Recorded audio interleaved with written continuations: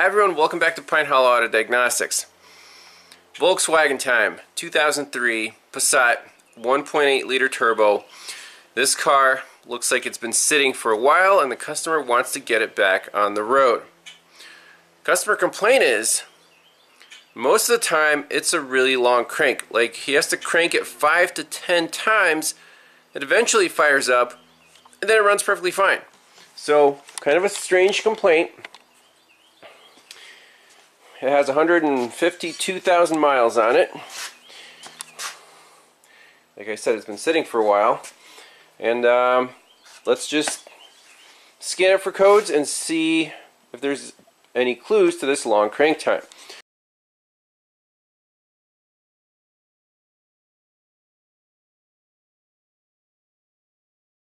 So our battery charger is at 13 and a half volts. Battery's fully charged.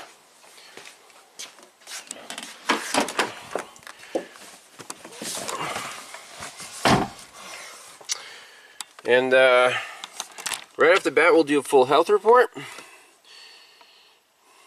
We have eight codes there. He said something, the connector for the ignition coil was uh, loose, so these ignition activation codes 2413, don't pay too much attention to that. But this code right here, 341, camshaft position sensor circuit range performance. That's absolutely key. I think that's where we're going with this car. So let's try to start up while looking at live data. I don't know if during the crank we'll be able to see live data. Um, let's see if we can get it started. Alright, so looking through live data, I could not find camshaft speed, only engine speed. So G28, that's going to be our RPM sensor. So let's just look at those four data PIDs while cranking. Coolant temp, mass airflow, and throttle angle. So it's cool. It's a stick shift. Clutch down and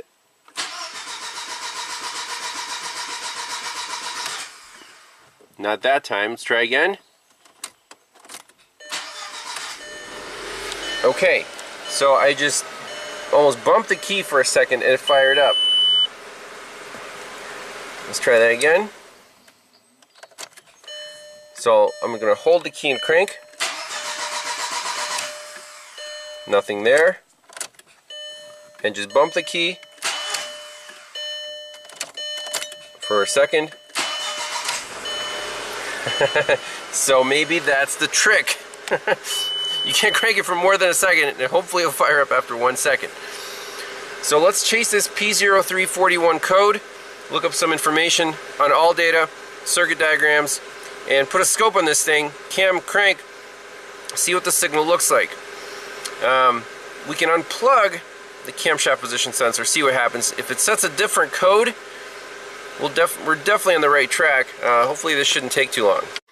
Alright, let's look up some information. So, camshaft position sensor, 1.8 liter engine on front of cylinder head behind camshaft timing belt cover and sensor housing. So right up front, there it is. And then the wiring diagram.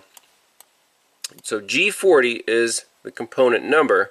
We have three pins, 5 volt ground, and the middle pin is the signal to our engine computer. So we can measure either at the sensor or at the computer, whichever one is easier to get to. Now for the crankshaft position sensor, or the engine RPM sensor, G28, I'm sure there's nothing wrong with that because the RPM is reading fine on the scanner, but we still want to check that on the scope. And wiring diagram for that, for G28,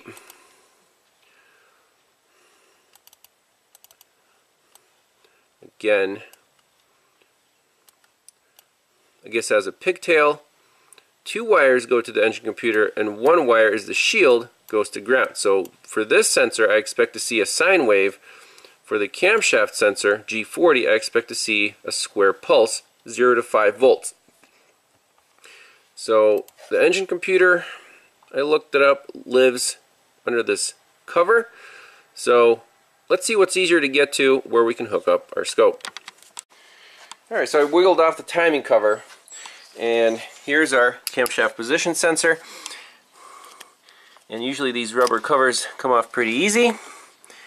And here we have our three wires, so pretty easy to probe. You can um, plug that. Okay. And at least measure for 5 volts and ground. Oh, we can even back probe it right there. And then the signal when the engine's spinning and running. We'll see what happens. Alright, so with the sensor unplugged, let's turn the key on and do some voltage measurements. So voltmeter is grounded, so if it finds so the meter works, let's check all three pins. So let's check for the 5 volt reference. Yep, perfect, 5 volts. Middle pin, it's definitely continuous to the computer. It's actually 12 volts. That's surprising. And then the ground, 32 millivolts, but we want to load the ground with a test light from battery positive. It's going to light up if it finds a good ground. And, yep, it has a good ground. Okay, great. So now with the sensor plugged in, let's um, get on that signal wire and put a scope on there, see what it reads. Actually, one experiment I want to do before hooking up the scope is leave the sensor unplugged, clear out the codes, crank it over, see if it starts, or see if it sets a circuit code versus the performance code. So, clear fault code, in the ECM. Yes. Okay. Read DTC. No DTCs. Key off.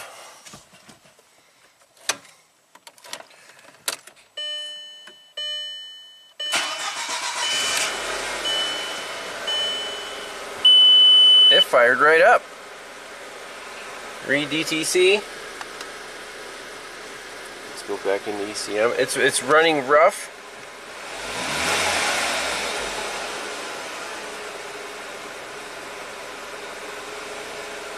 Yeah, it's not happy without that cam sensor.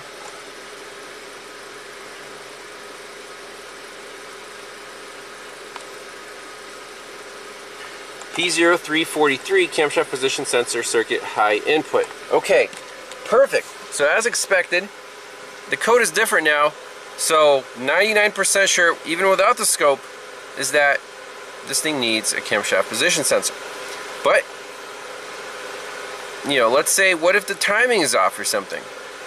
The logic here, you know, it's German logic, so even if maybe the signal is fine, but it's shifted, then you'll set, you know, a camshaft performance code. Um, kind of like on TDIs, they, they like to do that. But let, let's see if it cranks right up after a shutdown.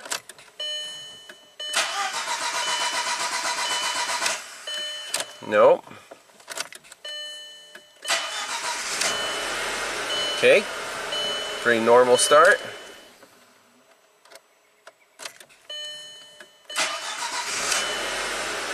Starts up fine.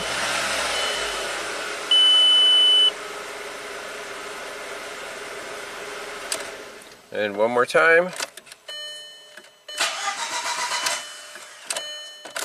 So maybe it guesses which cylinders to fire. Third one. Okay. let's uh, let's measure that signal. Here's the scope setup. Channel 1 is going to be on our crankshaft position sensor. So those blue and gray wires go to you know, the coil itself and the black is just the shield. So we'll just tie into one of those and then the signal wire on the cam sensor. So let's hook, set up the scope, crank this thing over, see what the signals look like. So here are the two channels, key on, and crank it. Let's wait till the next screen.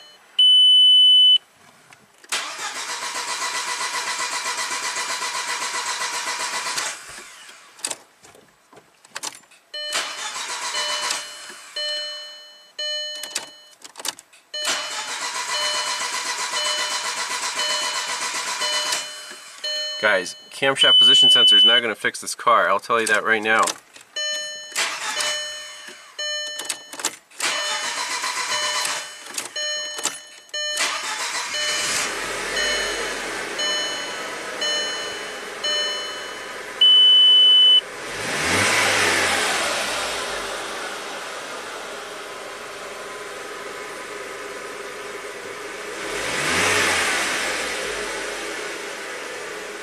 Signal looks beautiful, doesn't it?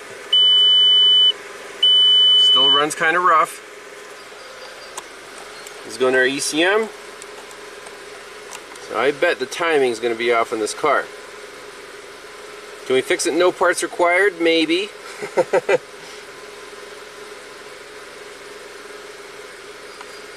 Read DTC. Here we go. 341. Camshaft position sensor circuit range performance. So if you fire the parts can of this thing with a cam sensor, wouldn't fix it, that would be a waste of money. Alright, so we have a very nice waveform. You see the cam is kind of too skinny, too fat, too skinny, too fat. And then nice sync notch on the crank. So it should be one cam revolution for every two crank revolutions. So right here, crank no start, crank no start. finally fires up right there. So we can see if the camshaft's shifted at all. And we'll see, you know, does this have variable valve timing? I'll have to do some research. It might. And which camshaft is the sensor on? Because there's only one pulley. Let's do a close visual inspection here. So first of all, intake and exhaust cam and the timing belt drives the exhaust cam and then there's a chain on the back here looks like with an oil control solenoid so the intake camshaft can be phased. And that's the one that the sensor is looking at. So that makes sense. Now the timing belt actually looks pretty fresh. So does the tensioner. So does the shiny water pump. So I'm wondering if this problem started when someone did a timing belt job in this thing. Um, let's see if there are marks that we can align or if this is more complicated if you have to use some special tools to sync this whole system. Looking up the timing belt installation procedure, so there should be a mark on a camshaft sprocket and the line should line up right there with the timing cover. Also on the crankshaft there should be some kind of mark right there. Just crankshaft to cylinder number one. So let's see if we can find those marks. Okay so there's the mark on the camshaft and here's the mark on the timing cover. So we're actually really close. And then on the harmonic balancer I don't know if the camera's going to pick this up. If it decides to focus.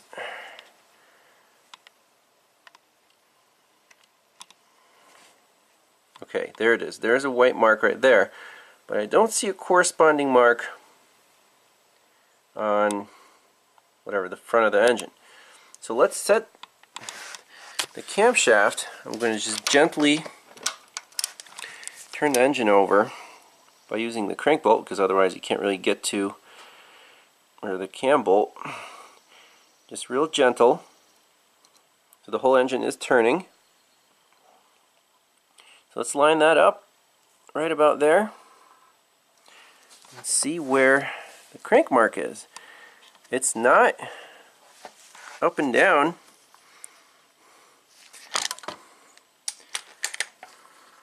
So let me get in there with a borescope see if I can locate the actual mark on the harmonic balancer.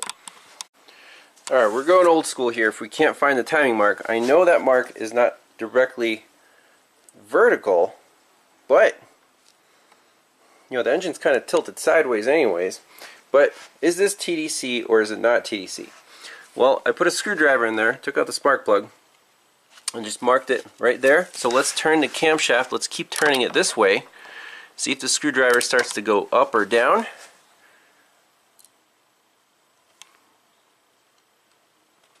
starts going down. Okay, let's go back the other way. Again, this is to be real careful.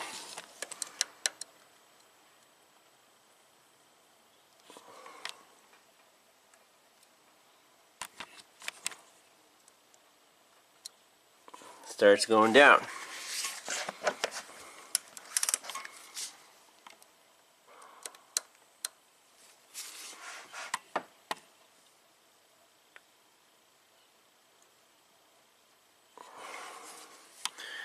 That seems to be TDC, doesn't it? Physical TDC.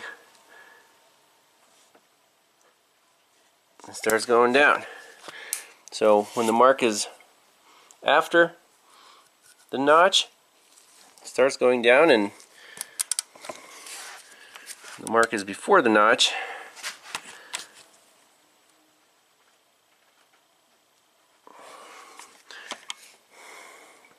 that seems to be spot on, doesn't it? Hmm. So the only other variable here is this timing chain between the exhaust and intake camshafts on the rear of the cylinder head. So the instructions say you know the, the, these uh, cams should have timing marks so we're already at TDC we just need to remove the valve cover and inspect these marks there's supposed to be 16 rollers in between the two marks. So if you count 1, 2, 3, 4, 5, 6, 7, 8, 9, 10, 11, 12, 13, 14, 15. So I guess they count this as 1 and that's 16. Interesting. So I think that's pretty easy to do. Just pop off this valve cover and look at this chain. So I know someone's been here before. So I took off three bolts, but that one's missing, that one's missing, um, that's out of the way. We just need to do one, two, three, four, five, six, and then seven, eight, nine. Hopefully the valve cover should pop right up. Done. All right, valve cover's off. Pretty straightforward. So that arrow is lined up. That arrow is lined up. what gives? What are we missing here? Dang.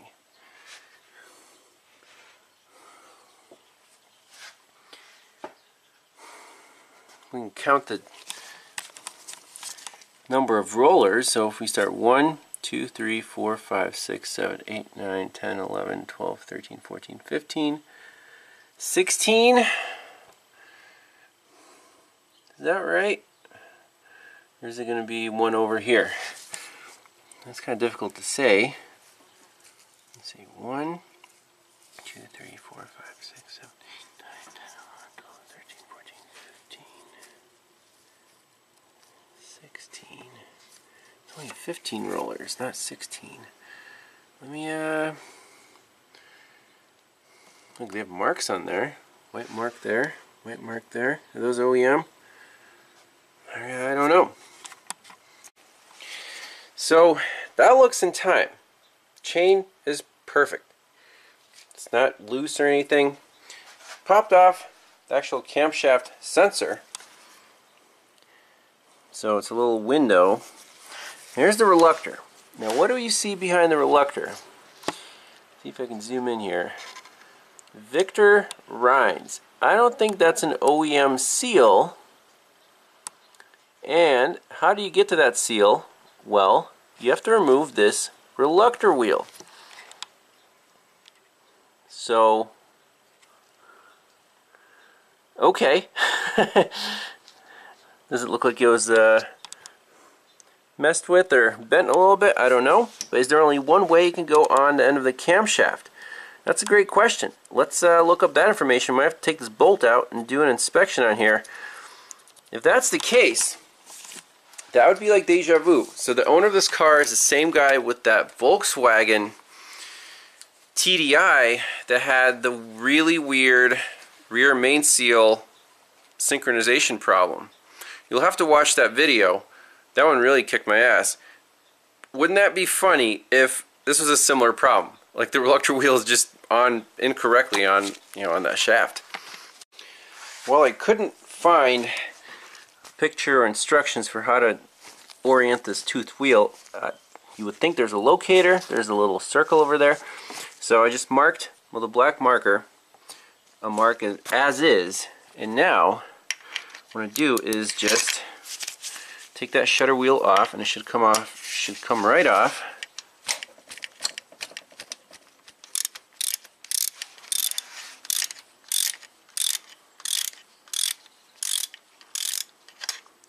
Let's see what's going on here. Let me uh, get that bolt out. It seems like it is located by something. It's definitely located. Alright, so here it is. And you can't really mess this up. It's nice and located by that tab. Right there. Do any of the teeth seem bent or misshapen? No. What gives? So I just noticed something. When I was removing this reluctor wheel, you know, loosening this bolt, the camshaft shifted a little bit, and this gizmo, this uh, tensioner slash phaser oil controlled assembly started lifting up. So how does this work? When the phaser lifts up, this chain effectively gets shorter and the intake camshaft gets, does it get advanced or retarded? So the engine's spinning this way, and the camshaft turns this way, it's getting more advanced correct? Is that right? No, that's not correct. Advancing would be leading. So basically, if this one is here, advanced would be this notch would be going that way. So basically, with this all the way down, this camshaft is all the way advanced. Is that right? Yes. What I think should be the case is on startup, the camshaft should be all the way retarded in its whatever home position, and then it should advance from there. So so if this is all the way up, then this notch would be significantly that way.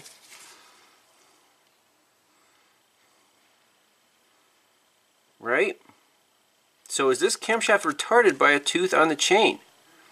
As I keep counting, you know, if we start from this roller right here, 1, 2, 3, 4, 5, 6, 7, 8, 9, 10, 11, 12, 13, 14, 15, not 16. That I think that's the problem. This notch should be one tooth over, and then it would be 16. Is that the whole issue? How could this jump? Let me call the owner up and ask him, have these camshafts ever been out of this engine? And if so, that would give me more confidence in saying your intake camshaft is one tooth retarded or advanced. Retarded on the rear chain. A lot of variables here. so timing belt's fine. Exhaust cam is you know fixed in place at TDC. But on the intake cam we have all these variables here you know, which position is this supposed to be in in default? But the 16 rollers does not match OEM service info. We have 15. So this camshaft should be one tooth. We need to advance it one tooth. And then I think everything will be fine. So there's nothing wrong with the reluctor wheel or the camshaft position sensor or the timing belt. The problem's going to be here. I think we're one tooth off on this chain. Man, that's uh, that's crazy.